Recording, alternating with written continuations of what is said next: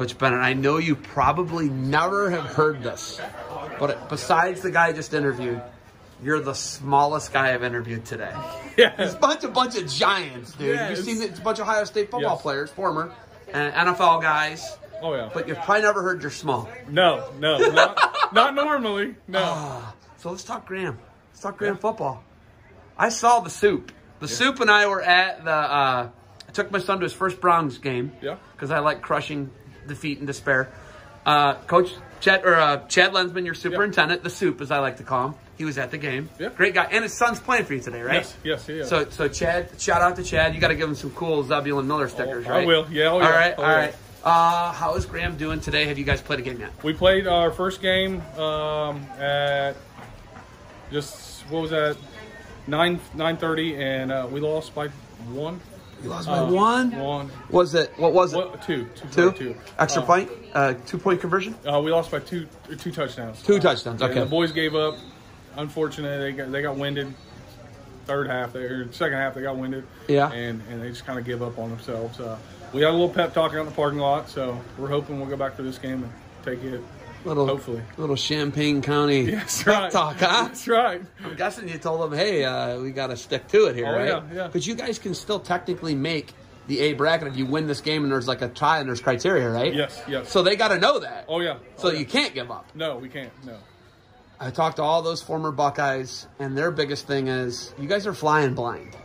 No, you don't know unless it's a team from the area. You don't know these kids that you're playing against, No. and you have no video, no experience No, them, no, right? no. We uh, we actually we promoted a bunch for uh, to come up here. We had uh, our league we run. Uh, we tried to get. Uh, we had four teams on, on top of us to come up here. Uh, last minute, they, I had three of them call me and say, "Hey man, we're not gonna be able to make it up there." I said, "What happened?" They said, "Well, we didn't have enough kids interested." I'm all right. Well, the one other team told me Thursday, say, "Hey man, we lost four of our linemen. We're not gonna be able to go either." I was like, man, we're supposed to go up there, you know, give a good, you know, look, give some more kids up there. He's like, I'm sorry about that. So we've been pushing hard for, you know, get more teams down, you know, in our division and our league to come up here and participate. So hopefully I can get seven or eight of them to come next year. Because our league runs, uh, we run 17 teams in our league. Wow. Yeah, yeah. yeah. you told me about that last year. You got this like really competitive big league that you guys, and it's crazy because it's a rural area. Yeah, yeah. Right, Okay, you're not a diesel mechanic, are you? What are Yes, you? I am. I, I got that. Yes, I am. Can you believe I remembered that? True, that- It's been we're like best friends, man. Right. You can come to the the soul crushing Browns game. right, that's right. I mean, it's pretty terrible. I don't know how the Lensmans do it, man. The Lensmans get up there and they get they're season ticket holders. Oh, are they? Yeah. Do you know the longest 10 years of my life? It was the two years I was a Browns season ticket holder. uh, building these kids up for high school football. Obviously, it's for middle school is what you're preparing for, but ultimately, you want the kids to play in high school. Uh-huh. And I'm guessing it doesn't matter to the school. What's the biggest lesson you want them to take away from youth football? My personal is sportsmanship. I want them to learn the game, but be respectful about it. Uh, win, lose, whatever, be be courteous about it. Uh, my kids, you know, if you see my kids out here, they're gonna they're gonna shake your hand. Don't matter if they, you know, you just beat them, you know, ninety something to nothing or whatever. They're still gonna shake your hand. They're still gonna hang out with you out here, out you know, out and about. They'll they'll talk to you. Everything else. Uh, we're trying to build a little bit better morale for our kids. We had a couple rough years there, six, seven years ago. Uh, we're starting to build our program back. Last year we come up here with 13 kids, 14 kids, 14 kids. Uh, this year Wow. we got, yeah, 14. yeah, we That's have 14. brutal.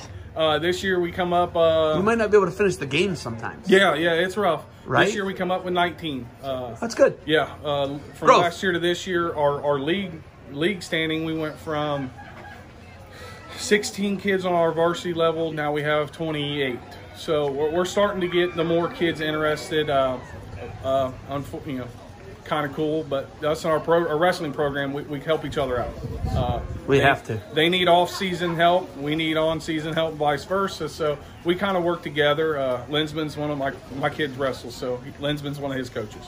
So me and him, we, we talk about it. We, we try to get everything straightened out. So it works out pretty good with our schedules. Is Chad Lensman not one of the greatest inspirational stories that you could ever think of? Oh, it is. It is.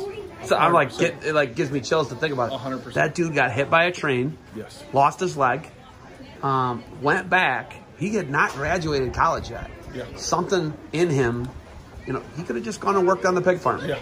He could have just gone and done Lensman pigs, worked with his dad, whatever, Yeah. right? He decides to go back and get a degree. Yeah. Then it just leads to, oh, I got to get another degree. Yeah. Oh, I'm going to get another degree. He keeps getting degrees. He keeps climbing in the administration, in the administrative levels, and he was a superintendent. Yep. But do you guys ever talk to kids about that? Like, hey, man, Oh, you're yeah. a diesel mechanic. and I was raised by a blue collar guy. My dad was an iron worker, right? There's nothing wrong. As long as you're doing something, Yeah. it doesn't matter if it's blue collar, it doesn't matter if it's a trade, Oh, yeah. whatever it is. If you be the superintendent for Graham, Yeah. you can you can take these things. Chad took wrestling. That was his vehicle. Yep. Football, right? Yep. Football's the vehicle. Do you guys talk about stuff like that? Yeah, uh, the the boys out here know uh, I actually coach here and I coach middle school ball. Uh, so I tell my kids, listen, I'm building you guys up and I'm trying to help you guys for when you move up. And then we take you there in the middle school and we try to build you for high school. So this is a, a, a stair step thing. And our high school helps out a lot with our program. Uh, they and our middle school helps out, and it's a stair step thing. We're trying to do K through 12, just like our wrestling program. Uh, you know, a lot of my kids, you know, they they're good kids. They really are. They just get that I'm the best, but then we have to go. Hey, this is a team effort. This ain't no. There's no I in team. This is a team effort. So we've got that narrowed down now to where everybody's getting along good, uh, working good. First couple weeks of practices, it was rough. Uh, we had some stud kids that thought, you know, they didn't need anybody else. They turned around. They're probably the best helping kids. You know, help somebody else. You know, hey, you're doing this wrong, or hey, try this, and this might help you. So I think all around we're doing better. Uh, we still got a lot to work on, but we're doing a lot better, in my opinion. Have you trimmed that beard since we talked last?